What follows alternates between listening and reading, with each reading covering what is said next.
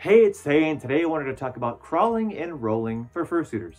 If you're wondering why I might have specks of green stuff all over my fursuit, it's because I just got done rolling and crawling on a bunch of turf at a park nearby. But anyways, how do I do that? So as you can imagine, crawling is going to use your hands and your feet, not your knees, not your elbows. First, I like to start off with my feet together, knees apart, lean forward and place your palms onto the floor.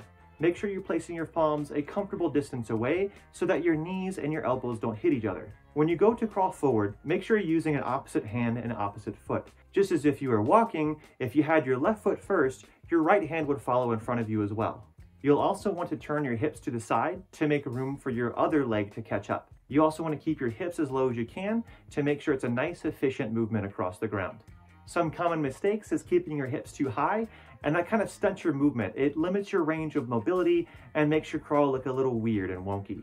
Also, I've seen sometimes people placing their right foot and their right hand and their left foot and their left hand together in unison.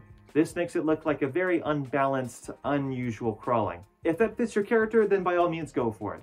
I'm just here to show my best practices for crawling along the floor as fast as I can. Just be careful not to run into things. Now, in a fursuit, since you have limited visibility, you're going to have to either memorize the path in front of you or just try to look up periodically or as often as you can. Don't worry too much about having your head staying upright because that might strain your neck. Again, we want to keep the hips as low as possible to allow for a more efficient movement. But just be careful if you're like me and you have thick thighs on your fursuit to not hit the ground or scrape them. Also keep in mind if you are wearing some kind of larger footwear, or in my case, feet paws, so make sure to give your feet plenty of space to move past each other. You can also do something called a pivot. A pivot is very similar to a cartwheel where you're placing the weight on your hands and you're pivoting around one of your hands, either going the right or the left side. And the idea is your feet are going to be facing the direction you just came from once you've landed. This is useful if you just jump from something and you have a little bit too much forward momentum for a four-point landing as I discussed in a previous video. It's also just a good way to turn around and it looks kind of cool in my opinion. Now, something you probably see me do a lot is rolling.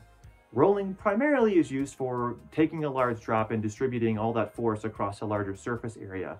AKA if you're doing parkour and you jump off, say, an eight foot gap or something taller than yourself, you can use a roll to save yourself from injury. They're also just really fun to practice and you can pretty much sprinkle them in anywhere you have flat ground. I recommend starting off on soft surfaces first. This could be grass, carpet, or some kind of mat below you before ever trying to move to anything hard like concrete. The reason for this is because the way the roll works is by avoiding any of your joints or any of your bones from being impacted along the roll. It's a bit tricky to pull this off, and if you make a mistake, you can definitely feel it. On softer surfaces, it's more forgiving, but on something like concrete, not so much. To get the basic form down, you can crouch down on two feet, basically sitting on the back of your heels. Now, pick a shoulder you want to roll on, whatever you're comfortable with. I recommend training on both sides, but for this instance, I'm going to be using my right shoulder. So I'm going to take my right knee, point it towards the direction that I want to roll. I'm going to put my hands out in front of me. I'm going to put them on top of each other. I don't need to lace my fingers or anything specific. Just make sure my hands are in the same spot.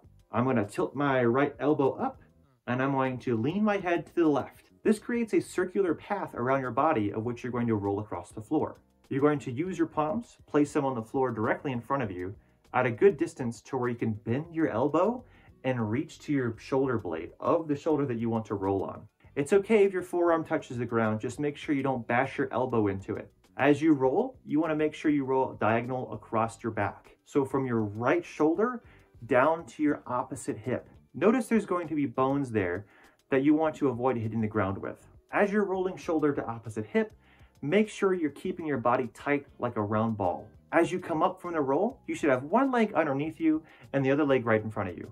The goal is, is to end your roll exactly how you started.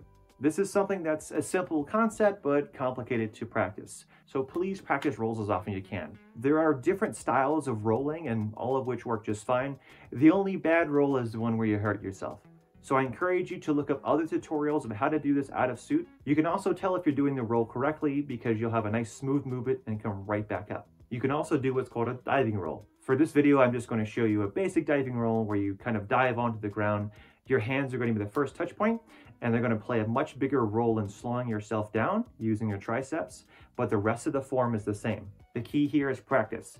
Just dive a little short distance, move the distance further and further, and higher and higher as you feel comfortable. Practicing this move in a fursuit, it's especially important to avoid smacking your head. Granted, you're padded for safety, which is nice, but you still don't want to scuff anything up. So having that head tilted away from the shoulder you're going to be rolling on is super important. Again, keep in mind if you have large hands or feet, and if you're like me and have a six foot long tail, make sure you don't snack anyone with it. All of these moves are super fun to practice and super fun to do in suit, and you can do them anywhere there's a flat surface. So I encourage you to go out there, practice these things in a safe environment, bring it into your costume to add some flavor, and have a lot of fun. And the more you practice them, the better they're gonna look. That is it for today's video. If you have a comment, question, or a story to share yourself, please comment in the section below. And as always, thank you for watching. Right then. Oh, darling, dashing aren't we? Anyway, this is something you might want to add to your cosplay performance because it... No. Literally, there is a sewage pipe right there.